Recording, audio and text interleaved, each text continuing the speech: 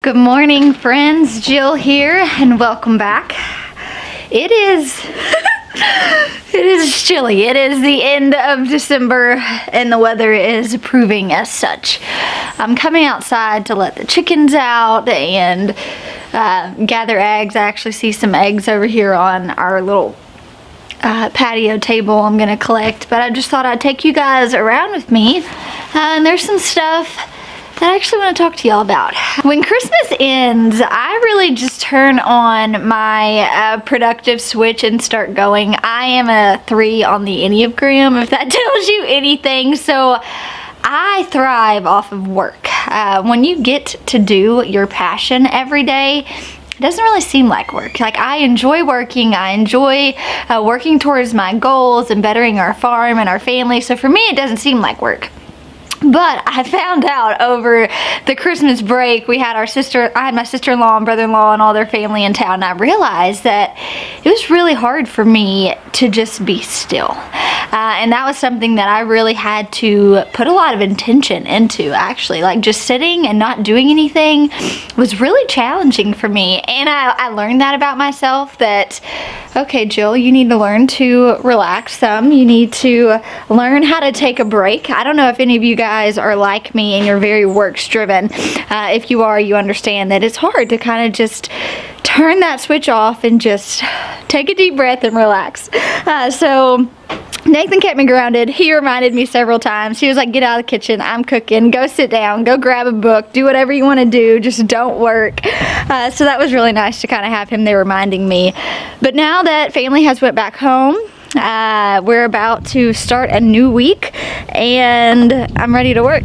I'm like, I've waited long enough um, and I'm just ready to work. So I'm about to just come out here and feed all the rabbits, let the chickens out. I hope you guys all had a lovely Christmas. Um, I know we mentioned that this year was kind of different than in years past, but I just I just pray that this year was still special uh, in whatever way, even if it was a bit different. I have a bunch of smelly girls in here. Hey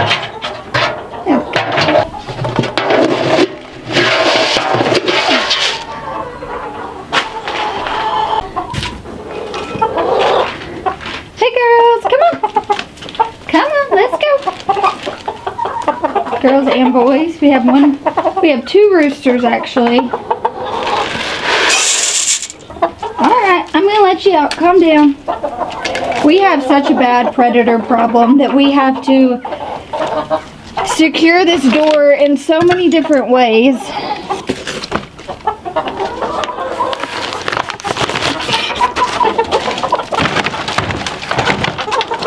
There you go. Bye, chickies. Bye, chickies.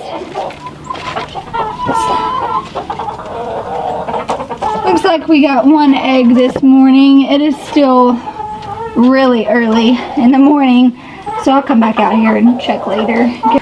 Now, while we were kind of on a nice little break for the holidays, obviously farm chores do not ever end. So we still came out here and took care of the chickens and the rabbits. I harvested lots of food from the garden actually. I had to be able to cook with dinner and that was really nice. Uh, Ashley and Blake don't get to eat that fresh homegrown food often, so it was really cool to be able to just like get them some stuff from the garden.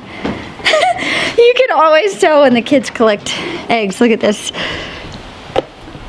Charlie's got her eggs and her rocks, so we'll be sure to take those. so now I'm on the hunt to figure out, ah, always like come outside and set my coffee down. I always forget where I put my coffee. and I'm like, no. Uh, I'm actually gonna run into the greenhouse real quick. There's some things I kind of want to talk to y'all about. Uh, when the new year comes, I start shifting gears. Yesterday, I spent a lot of time out in my greenhouse. And I think I was just being kind of sentimental because that greenhouse has brought me a lot of joy over the last two and a half years. And I've spent, usually when Christmas ends and January begins, I spent a lot of time out here. Oh, so much warmer. Knowing that this year I'm not going to be spending as much time uh, out here. Uh, Sean, my friend Sean's building me the hoop house for my starts and I was just really kind of having a moment yesterday. I came out here with my notebook and my seeds and And I just sit here with my cup of coffee and it was freezing. I ended up turning the heater on. And I just sat here for hours and reflected on how thankful I am and how much joy this space has brought me. And I was just really thankful that we were in a place to be able to have the hoop house that's going to make our production so much better, our plants so much better for the upcoming year. And that got me excited. Uh, it also got me sad because I'm not going to be spending as much time in this space. So between now and then, um, between now and whenever he puts up the tunnel, I'm just going to be really intentional with my time in here and just try to create a lot and just reflect on all the memories and the hours and the love that went into this greenhouse. Now I did want to take a second uh, because over the weekend, I've been jotting down all things for uh, 2021 garden and just my dreams. This is a good time when we're approaching the new year that I just kind of sit back and reflect and I think of what my dreams are for the next year. Uh, Nathan and I have a lot of projects. We've got the hoop house to put up. We have a lot of house renovations we're wanting to get done this year. And so it's just a time for him and I to kind of jot down all of our goals and our dreams for the new year. And y'all know I am a dreamer, unapologetically so. I love to dream. It brings me joy, it brings me fulfillment, it allows me to not put any limitations on what I'm asking for. Now you guys, believe it or not, y'all help me dream so much.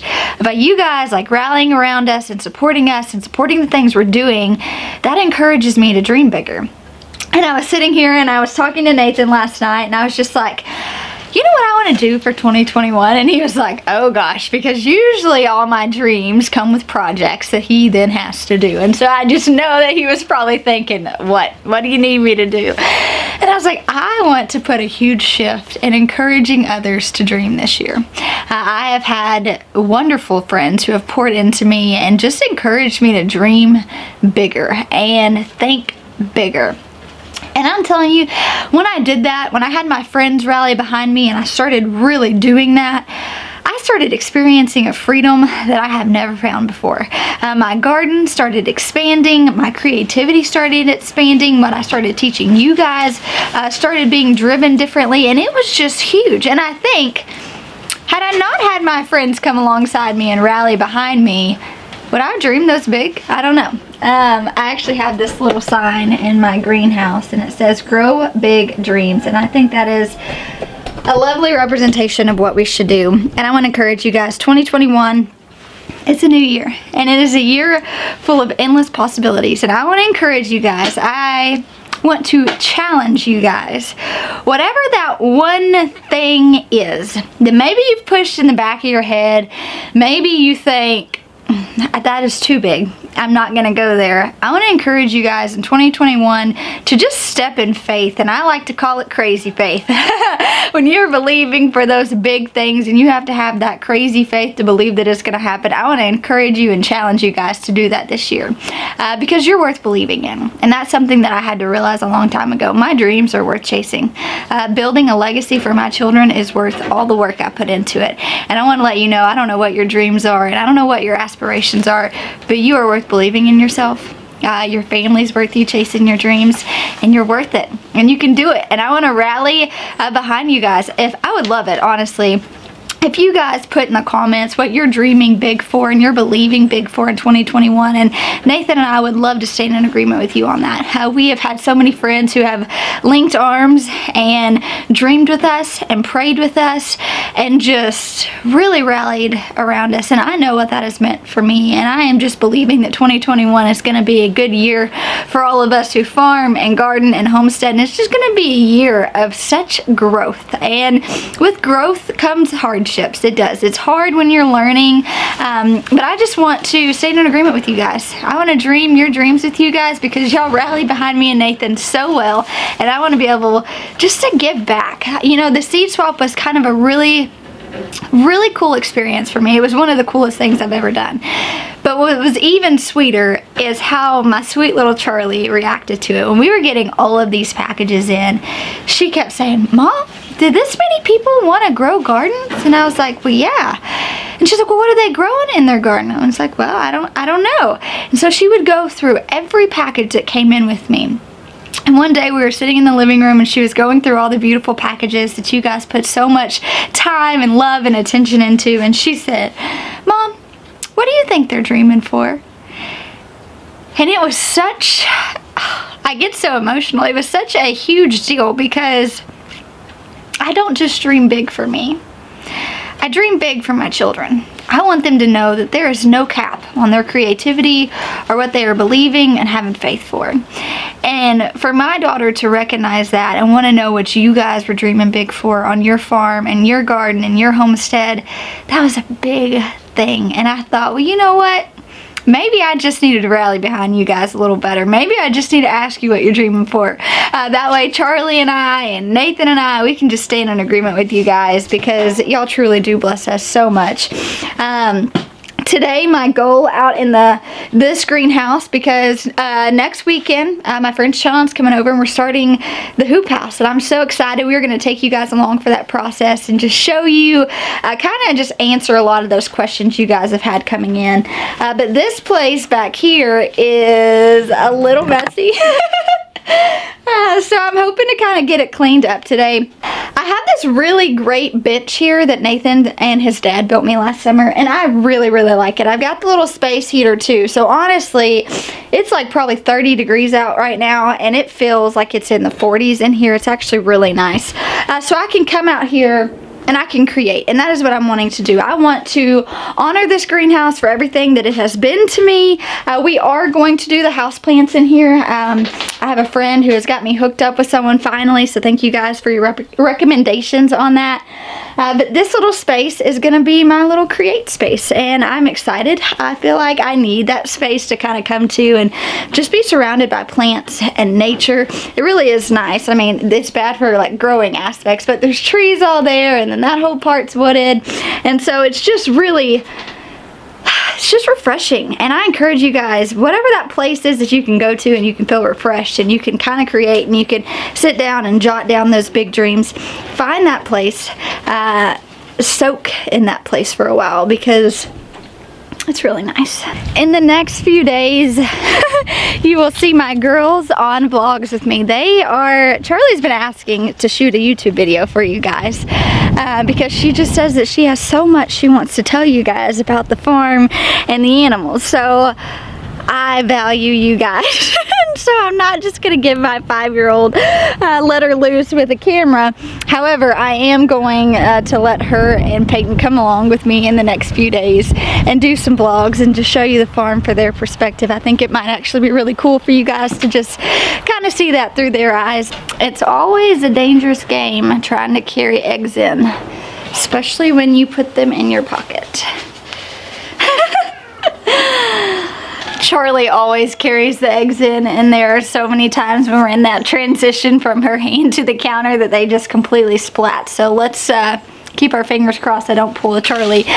But I'm about to go inside, cook breakfast for the kiddos, and get to work on some things. I hope that you guys had a fantastic Christmas. And I am praying and believing that you guys are looking forward to the new year, that y'all are going to just dream big and not have any limitations on that. I'm excited just to be able to rally behind you guys and stay in agreement on those things. I believe that there is power in that and I believe that there is refuge and that's what we want to be. We want to be a place and a channel where we can not just have you guys pour into us, but we can pour into you guys as well. We just feel like community is so important and you guys have been some of the best community that we've encountered. So thank you guys so much. I'll talk to you soon.